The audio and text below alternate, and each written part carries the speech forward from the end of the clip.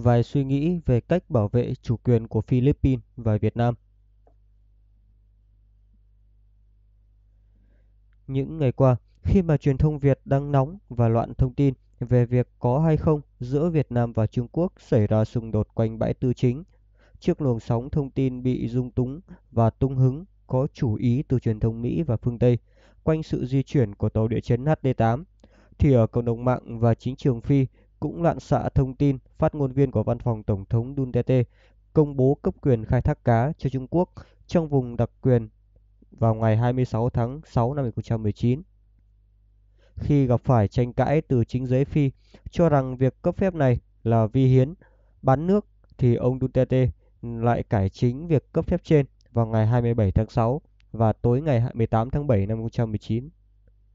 Ông Duterte trả lời báo chí rằng ông cấp phép cho Trung Quốc đánh bắt cá là cách thức khẳng định chủ quyền của Phi với vùng đặc quyền kinh tế của mình.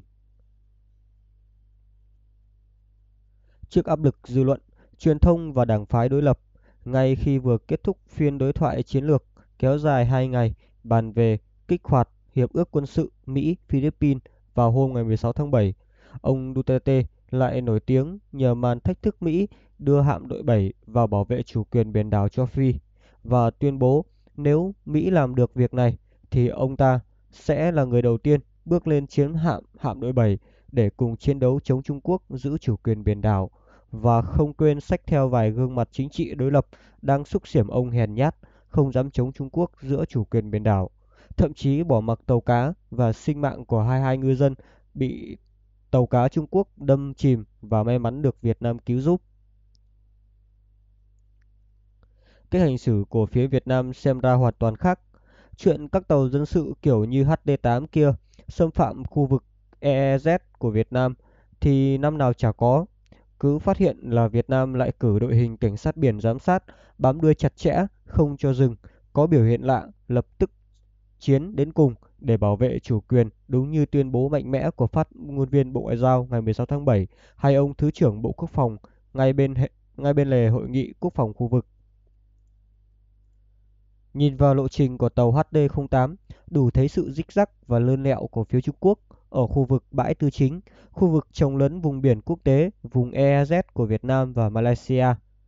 Điều đó chứng minh khả năng bảo vệ chủ quyền của Việt Nam chắc chắn đến mức dù di chuyển rích rắc như trên, đoàn tàu khảo sát địa chấn kia có khó có thể thực hiện được ý đồ khảo sát vùng biển chủ quyền của Việt Nam. Xung đột hoàn toàn kiểm soát tốt, không hề giống như loại tin tức từ các trang buôn tin vịt tung ra.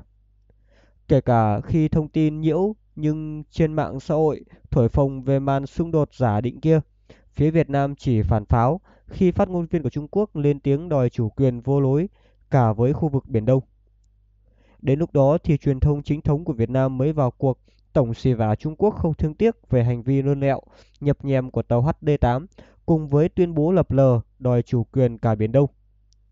So với Philippines, hành xử của Việt Nam chỉ có hành động và khẳng định chủ quyền bằng hành động, chỉ chơi trò đôi co truyền thông khi phía Trung Quốc có hành xử tương ứng. Kết cục ai bảo vệ được chủ quyền của mình nhìn là đủ hiểu. Hay nhất là khi ông Duterte tuyên bố thách thức hạm đội 7 Mỹ thực thi cam kết quân sự Mỹ-Phi thì phía Bộ Ngoại giao và truyền thông Mỹ im lặng khó hiểu. Còn phía Bộ Ngoại giao Việt Nam vừa lên tiếng thì phát ngôn viên quốc phòng, ngoại giao của Mỹ lại hưởng ứng, đòi Trung Quốc tôn trọng chủ quyền Việt Nam nhanh chóng đến lạ kỳ. Trước đây khi Philippines làm hồ sơ kiện đường chín đoạn của Trung Quốc ra tòa trọng tài quốc tế, Việt Nam không tham gia mà chỉ ăn ké với tư cách là người có quyền lợi và nghĩa vụ liên quan thì truyền thông phương Tây và đám chống cộng cờ vàng nhao nhao khen tụng Philippines dũng cảm, tự hào là người Philippines, lên án Đảng Cộng sản Việt Nam bán nước. Kết cục thì phán quyết của tòa trọng tài quốc tế chỉ có giá trị trên giấy, Trung Quốc vẫn ngang ngược trên Biển Đông với đúng kiểu hành xử của nước lớn. Thủ đoạn chơi bẩn gì cũng làm và Tổng thống Phi thật thất vọng khi bị Mỹ bỏ rơi chủ quyền của Philippines, bị mất bãi cạn của mình. Nay vì muốn vay tiền Trung Quốc, còn chấp nhận cho tàu cá Trung Quốc tự do khai thác trong vùng đặc quyền kinh tế của mình, bao biện không dám phản ứng khi người dân của Philippines bị chèn ép trên vùng biển nước mình. Còn phía Việt Nam Cả hải quân, lực lượng cảnh sát biển hay ngư dân Việt Nam chưa bao giờ mảy may chấp nhận các lệnh cấm đánh bắt cá vô lý của Trung Quốc, luôn sẵn sàng đối đầu với mọi biểu hiện xâm phạm chủ quyền, sẵn sàng la làng nếu Trung Quốc không kiềm chế hay có biểu hiện tương tự, chưa bao giờ cầu viện hay mời mọc bên thứ ba can thiệp. Bất chấp căng thẳng thường thực trên Biển Đông hàng ngày, chính giới Việt Nam vẫn còn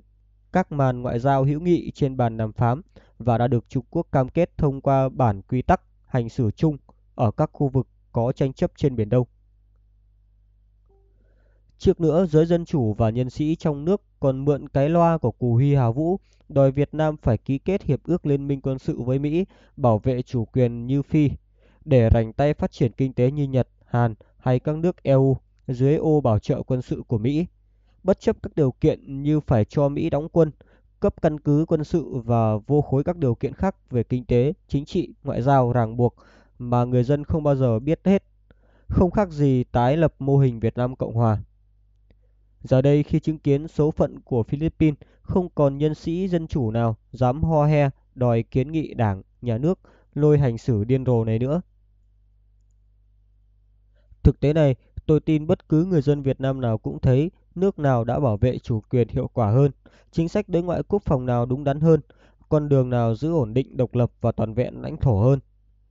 Chính vì lòng tin của người dân vào năng lực và quyết tâm bảo vệ chủ quyền của Đảng, quân đội hiện nay mà khi truyền thông phương Tây, truyền thông lề trái Việt Nam mắc bẫy, đưa tin, lan truyền tin vịt về xung đột lớn ở bãi tư chính, rồi mượn cớ đó để hô hào biểu tình, bạo loạn, chẳng được người dân nào ủng hộ. Thậm chí chính nội bộ chúng tự tố cáo và vạch mặt lẫn nhau mới hài hước.